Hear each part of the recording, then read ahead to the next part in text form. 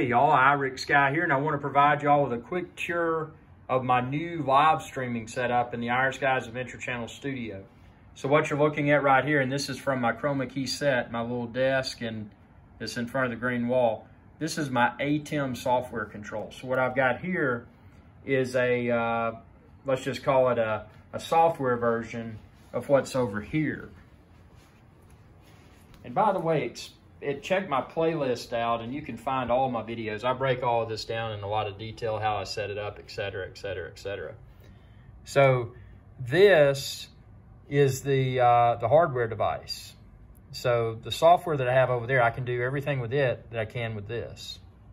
And then this is plugged into several different uh, video sources. So this cable right here that I temporarily suspend, and I'm gonna find a neater way to do that, that plugs into my MacBook Pro. And what this plugs into is input number two. So if I go to number two, it's like a secondary monitor off of my MacBook Pro. So sharing videos, uh, sharing other content I can do with that. Input number one goes to my Sony Alpha, which is right here. And I'm not using the shotgun mic. I'll, for my live streams, I'll plug in my, my wireless mic. So that's how that's hooked up. This right here is not in use at the, at the moment. Then I've got the network connection. Network connection is what maintains the live stream. One of the cool things about this device is that it can connect to YouTube and maintain the live stream and do the chroma key all in this device. So it's it's off of my computer, which is great. Uh, this other uh, cable right here is going to an Apple TV that I have uh, tucked away in the floor.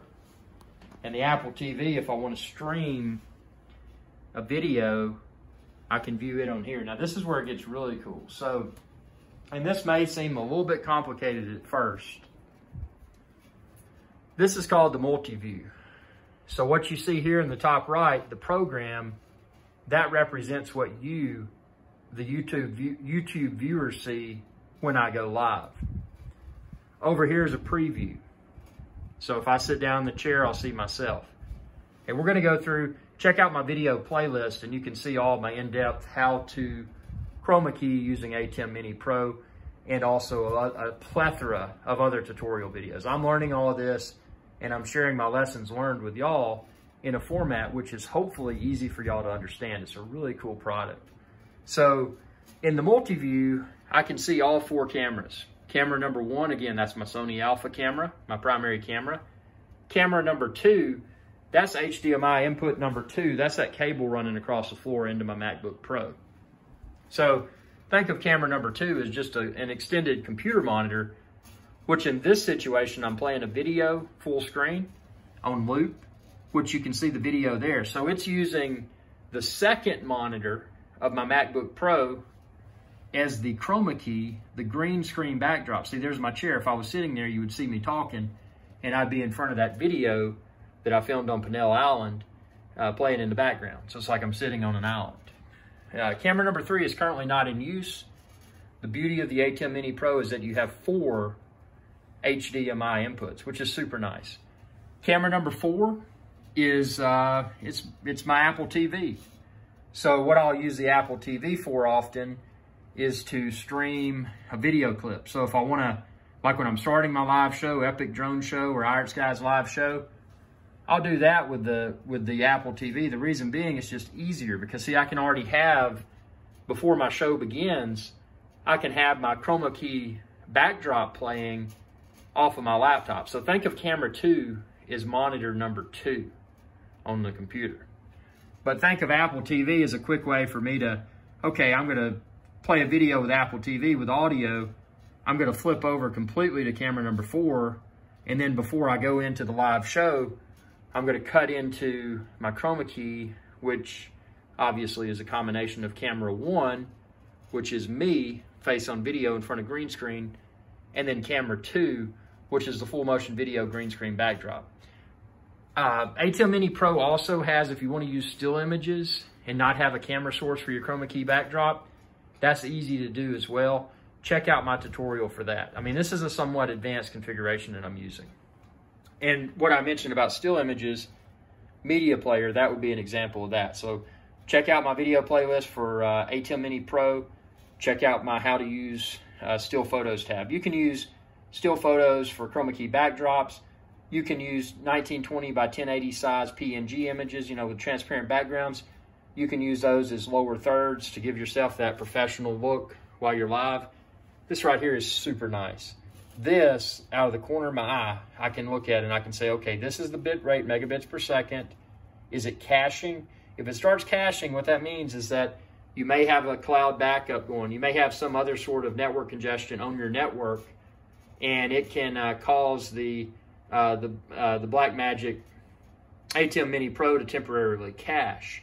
It can cache for a small amount of time, but once the cache runs out, that's when your viewers are going to see degraded uh, stream performance. Fortunately, in my first test, and at the time of excuse me, at the time of filming this, I've only performed one test with my ATEM Mini Pro because I didn't have all my lights and and everything neatly configured like I do now in my studio when you're watching this video, but it was rock solid. When I turned off my cloud, when I paused my cloud backup, it was it was super rock solid, man. And you can see here, this is really cool. And and as you learn what's called, this is called the multi-view interface. And I highly recommend, this right here is just an affordable 4K smart TV. And I've got, when I put it in use, I've got a uh, an HDMI cable that runs over to my to my ATEM Mini Pro. So just a great way to look out of the corner of my eye, see everything that's going on. And, and you know, as I learn this, I'll teach you the ropes.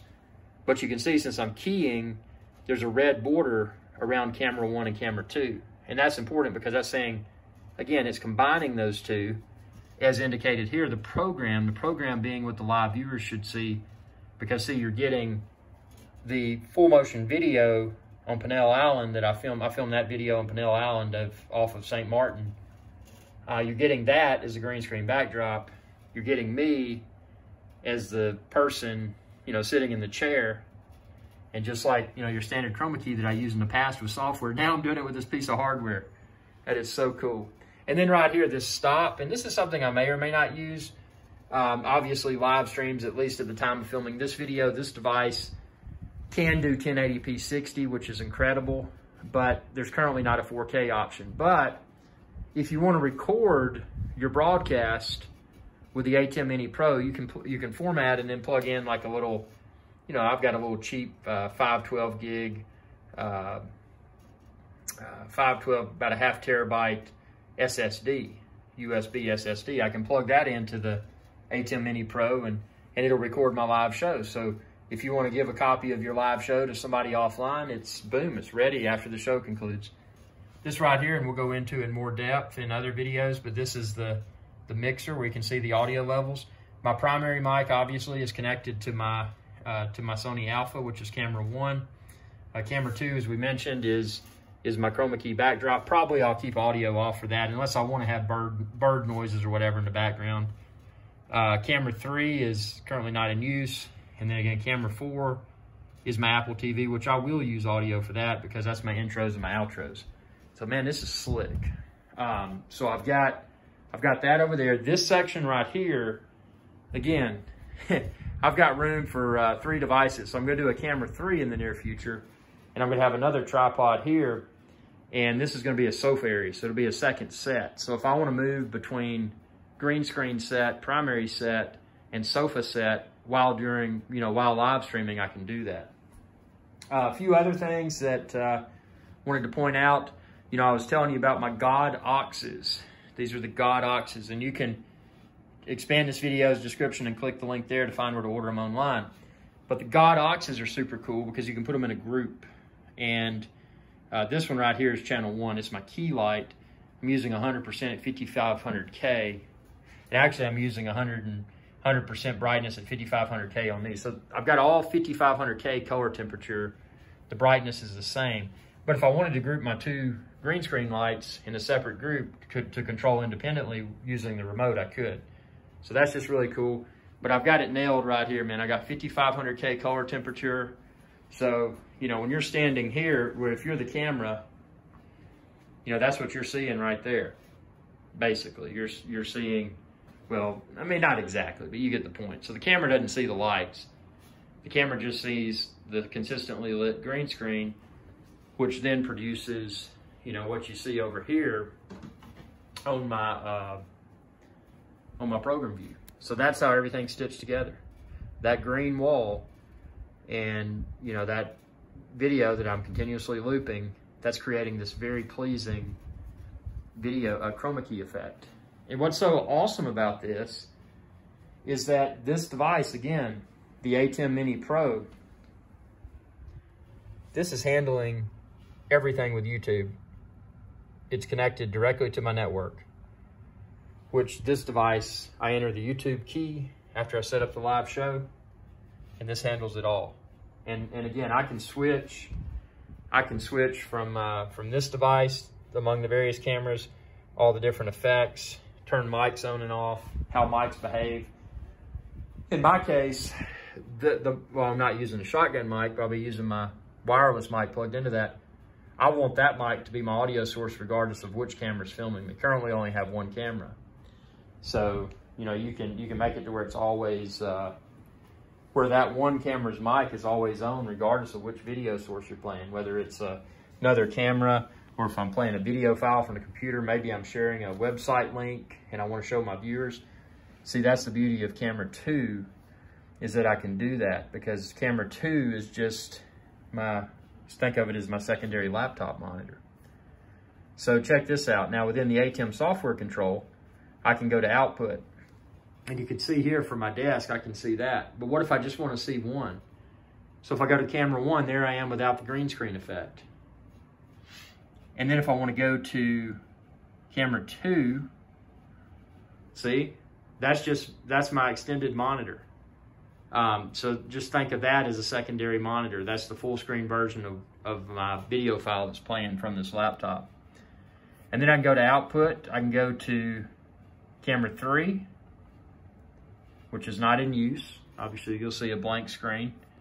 Uh, then I can go to camera four, Camera 4 is Apple TV. Don't have a video playing, just generic screensaver playing right now. And then I can also go, which we're already on multi-view, which shows everything. But what if I just want to see what the viewers see? If I go to program, see now, I'm in the green screen. So you can see me there. So see now, hello, hello world, how y'all doing? How y'all doing? Welcome to another, see? So see, there I am. But see, then I want to flip back and I want to go to multi-view, you know, maybe I want to look out of the corner of my eye and see, okay, uh, well, obviously it's off now because I'm not connected to a to an active live stream, but I can look at that out of the corner of my eye and say, okay, program is in the top right. That's what my YouTube viewers should, be seeing. And then, uh, you know, is my YouTube stream healthy? Does it say okay? If I don't see okay there, if I see some numbers and stuff, I know it's starting to cache. And if that's the case, I need to make sure I don't have network congestion, you know, what, you know, what may be interfering with it. You know, I may need to lower the quality. My first test, man, with this thing, I was able to get maximum quality 1080p, 1080p, 60 frames per second without a hiccup for multiple minutes. The most reliable tool that I've ever used to uh, to live stream YouTube. So, I mean, I am just thrilled with this. And, and again, there's so many buttons in here, but don't let this confuse you. If you're looking for ATEM Mini Pro, don't let this confuse you. I mean, I've got, I've got a somewhat uh, complex setup at the moment, but that's by design. But even with the complexity, the complexity in labeling everything and and creating that muscle memory of what to go where where to go when is just going to make live streaming so effortless. And the best part is I don't have to pay a subscription fee to use this. I mean, yeah, the hardware is a little bit expensive, but now that I've got the hardware, now I don't have to deal with software. I mean, I just hardwire whatever I want into that uh, ATEM Mini Pro, and uh, you know, and boom, just let it run my live streams. Now, something I'm working on at the time of filming this is identifying the best way to bring in guests. And I think what I'm going to do is u- utilize my camera two. Obviously, my camera two is my is my second. Just think of it as secondary monitor of this MacBook Pro. I'm going to utilize camera two as a monitor and pull those, um, you know, wh whatever video conferencing tool I use, if it's like a Skype or a, uh, you know, some sort of meeting bridge or whatever, whatever I choose to use shouldn't matter because all that I'll do is put them, you know, bring in uh, uh, camera number two, which is my laptop's view, and just make sure the audio is on. And We should be able to, you know, we should be able to rock and roll with that. So that's that's the one thing at the time of filming this video, you know, bringing in live guests using the ATEM Mini Pro hardware. Uh, that's one thing I haven't 100% ironed out yet, but that is that is on my to-do list. But I'm super excited about this. You know, again, I like to keep everything organized. I like to, uh, you know, make the workflow as simplistic as possible. And, and by doing this, especially these color matched lights, these Godoxes, I mean, all these things come into play to create the perfect live show. And, and, and the objective here is to have a live show that's easy for me to manage, whether I'm managing it from the software interface on my MacBook Pro or from the hardware interface that's underneath my camera. And I'm excited about this, as you might be able to tell. So again, check out my playlist, my ATEM Mini Pro playlist for all of my ATEM Mini Pro videos. This is just a quick overview of what the uh, of what the studio looks like with the ATEM Mini Pro. So I hope you enjoy the quality. Again, I always appreciate your feedback, your comments. And if you'd like to be a guest on upcoming live shows, just let me know. I'm always looking for guests. And again, at the time of filming this, I'm researching the best way to integrate live guests with, you know, using this new tool. Because I used a software tool in the, in the past called Wirecast, which was nice. But man, this is so much more powerful. Uh, thanks for your viewership. And be sure to subscribe and ring that bell icon when you do. And if you're looking for the ATEM Mini Pro or any of this, any other equipment like I use, expand this video's description and then click the link there. Thanks for your viewership and y'all have a good day. Hey y'all, Captain IRIX Guy here. I hope y'all enjoyed this video. If you did, please be sure to subscribe. It's youtube.com forward slash IRIX Guy. And ring that bell icon when you do to be notified whenever I post another video. Thanks for your viewership and y'all have a good day.